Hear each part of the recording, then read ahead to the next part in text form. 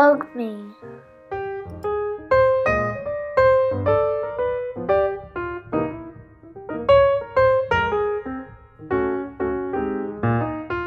Oh, Pam and Mom who made me get on with it. Hug me! Felipe was descended from an old and famous family who liked to look good and always behaved properly.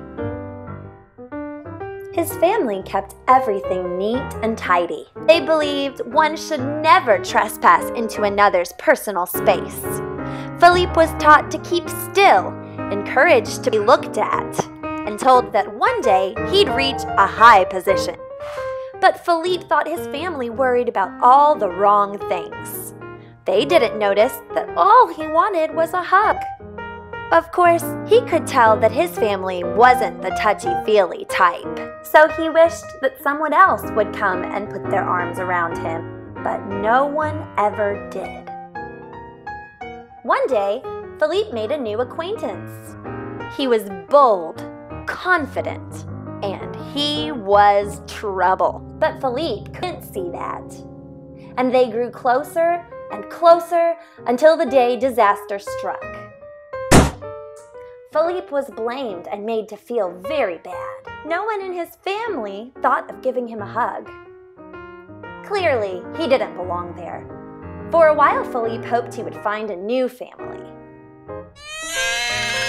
But wherever he went, he wasn't welcome. So he learned to enjoy his own company and thought he didn't need anyone after all. Trespassers will be prickled. During all this time, Felipe felt very lonely. But what he didn't know was someone else was feeling lonely too. Mm-hmm. The day he realized that, Felipe knew just what to do.